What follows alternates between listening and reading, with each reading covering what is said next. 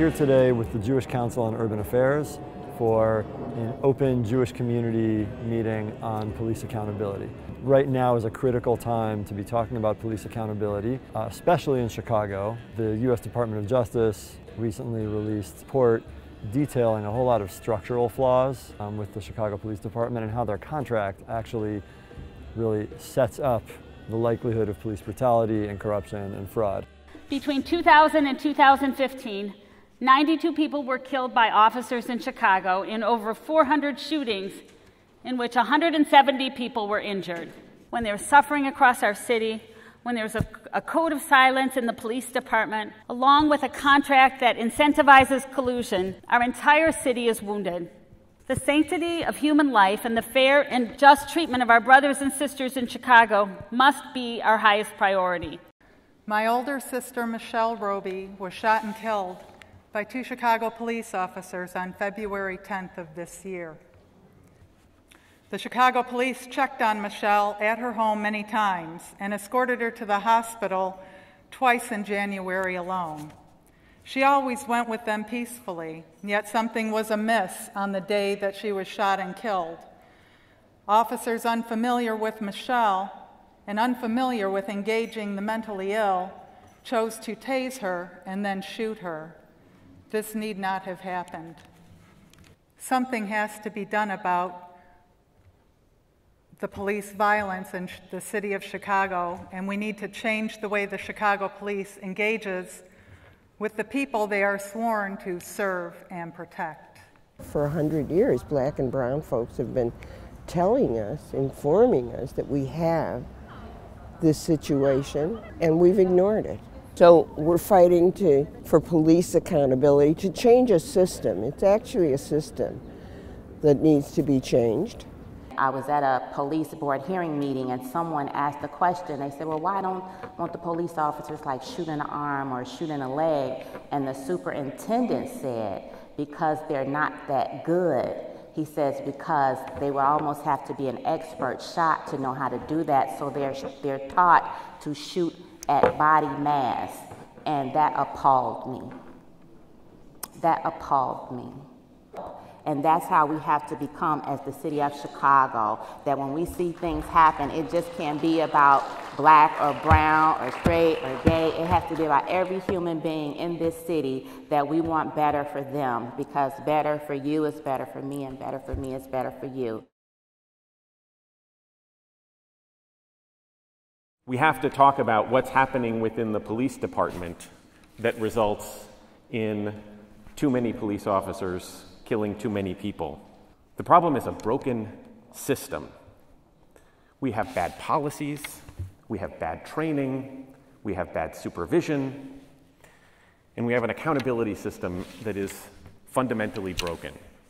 One huge impediment uh, to holding police accountable for misconduct is the contracts um, that there are uh, between four different police unions and the city of Chicago.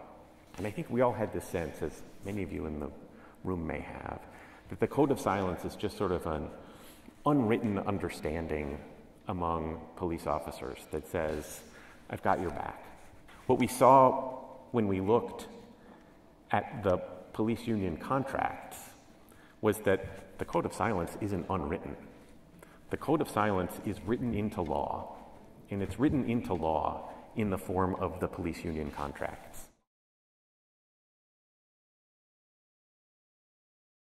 We need to have a true community engagement process, one that is community led, and one where the people who are really tied to the wards in the city that's impacted by this problem can now have a voice.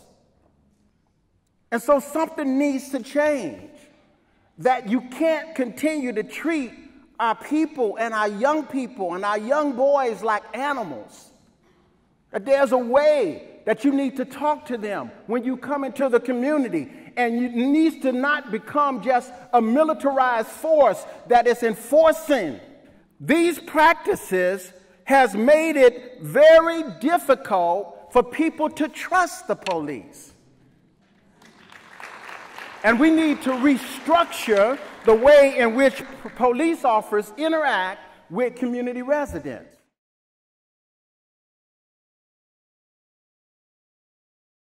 One of our many commandments tells us we should not stand idly by as a human life is in danger. It is said to be so great a mitzvah to preserve the life of another that it overrides all other mitzvot. People of color, especially Jews of color, understand all too well how bigotry and prejudice can negatively impact our lives. Whether someone is judging me for the color of my skin, the Hebrew on my neck is, or the kippot on my son's heads. Are you here now because you can no longer believe incidents like Rodney King were isolated or justified? Are you here now because our news has been inundated with videos of people of color, in some cases children, being mistreated or killed by officers sworn to protect them? Are you here now because the Department of Justice confirmed what people of color have been saying all along but wasn't taken seriously?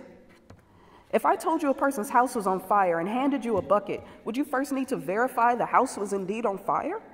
Would you need to know how to update the, update the owners were on their mortgage payments or their level of education or their race?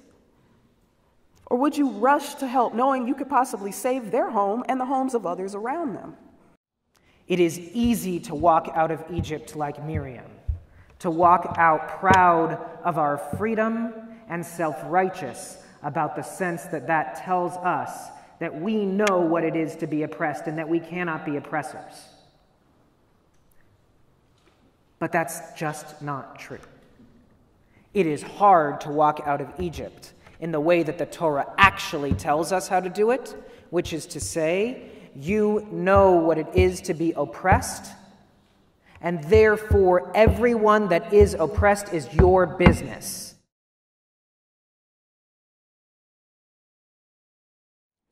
How can we take action? This is where we begin.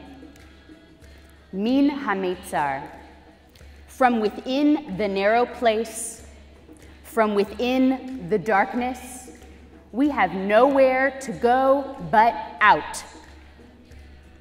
So here are five commitments that we are asking from you now, this week, and in the months and years to come. You have in front of you a postcard to fill out and send to your alderman asking them to only approve a new police union contract for the city if it addresses the issues of accountability that Adam mentioned earlier and implements recommendations from this community based coalition. In the next few days, we ask you to call your alderman with the same requests. This Wednesday, we will be delivering these postcards to City Hall, and we ask you to join us. And finally, if you were moved and energized here today, if you aren't already a member of JCUA, we are asking you to commit to becoming a member as the core way to be a part of this work as it grows.